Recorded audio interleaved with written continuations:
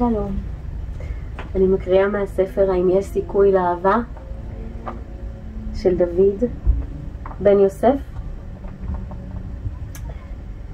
מעמוד 121 ואני זכרתי את שלוות הנפש של הרב, את מאור הפנים, את החום האנושי, את האהבה הרבה ואת הסבלנות שלו. ולא זכרתי דברי תורה שלמדתי ממנו, ובכל זאת, למדתי ממנו יותר ממה שלמדתי מכל רב אחר בחיי. כשנפגשתי בפעם הראשונה עם חנה, סיפרתי לה על הרב בר שאול, ולמחרת נסענו אליו. רציתי שהוא יכיר אותה. הרב שוחח עם חנה, אחר כך אמר לי, אני שמח לראות שמצאת את העץ שלך, אתה המים והיא העץ. יש בך את הכוח להפריח את העץ הזה. יש לשניכם יכולת רבה להעניק אחד לשנייה את כל הדברים הטובים שבעולם. יש לכם סיכוי מצוין להיות זוג מאושר. הרבה מאוד תלוי בך באיזו מידה הסיכוי הזה יתגשם. החיים הם אומנות, אומנות יותר נעלה ויותר מופלאה מכל אומנות אחרת. אין ספק שבכל אחד מאיתנו טמונים הכישרונות להביא אומנות זו לידי ביטוי. ובכל זאת אנחנו זקוקים גם להדרכה. התורה שלנו מעניקה לנו הדרכה נפלאה, דוד. ים גדול היא התורה, ורק טיפה אחת מתוך הים הזה אני מבקש להעביר אליך עכשיו. התורה שלנו אומרת, אשתך גוצה, גחין ולחיש לה. אם אתה רוצה לומר משהו לאשתך, אל תרים את קולך, ואל תצפה ממנה שהיא תתרומם אליך, אלא אתה תתכופף אליה. זהו הפירוש הפשוט. אבל יש לדברים הסבר קצת יותר עמוק.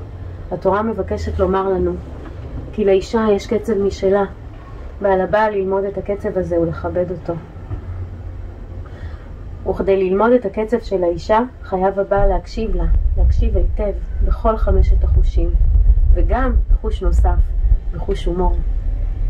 להקשיב פירושו להיות מוכן לפעמים לוותר על ישותך ולהעניק אותה כולה לאשתך. להעניק אותה לא מתוך חולשה של עבדות, אלא מתוך עוצמה של מלכות. גם המלך וגם העבד הם בעצם משרתים, אז מה ההבדל ביניהם? עבד משרת מתוך פחד ומתוך חוסר אחריות. מלך משרת מתוך חירות ומתוך תחושה עמוקה של אחריות.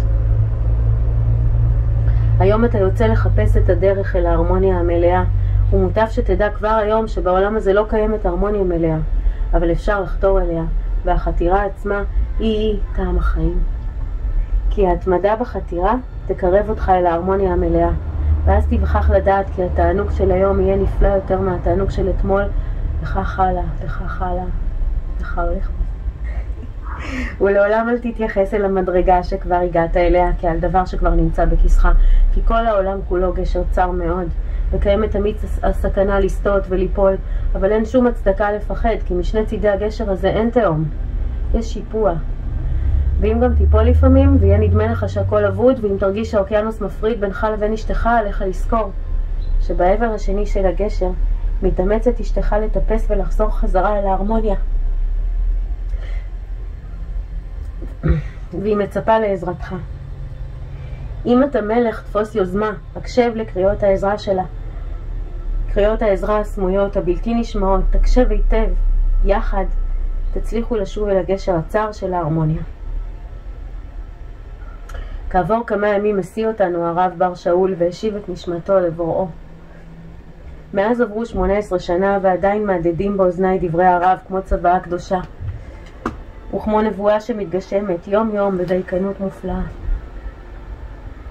שאלת, מה בדיוק למדתי מהרב שאול? הנה, את זה למדתי ממנו, להקשיב לאשתי.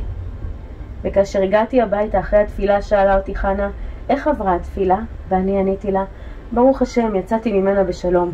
וחנה שאלה, מה זה יצאת ממנה בשלום? הייתה שם מלחמה?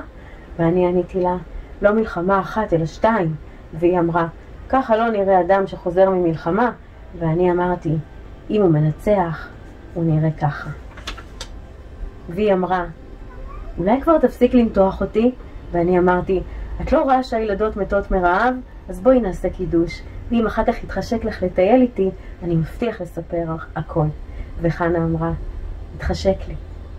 ואחרי הסעודה, המשך יבוא. שבת שלום.